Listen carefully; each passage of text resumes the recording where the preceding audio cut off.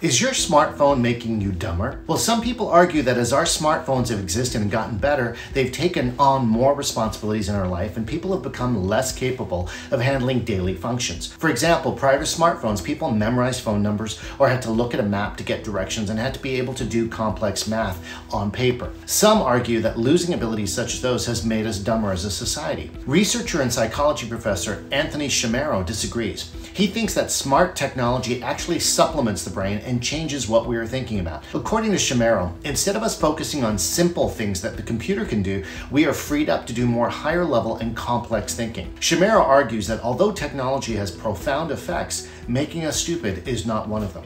So which do you believe? Tech makes us smarter or dumber?